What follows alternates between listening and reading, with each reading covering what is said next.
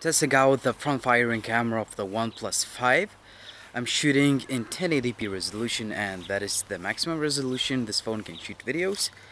So this is handheld footage. I'm holding the phone in the landscape mode and I'm uh, holding the phone in two hands, walking normally, so the footage may look a little bit shaky, but this is how the footage would look like if you used it for video chats or other similar stuff.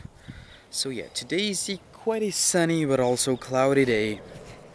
Uh, hopefully the sound recording quality is good because it is as important as the video quality. So yeah, as always, let me guys know in the comment section down below what you think of the image quality and stay tuned.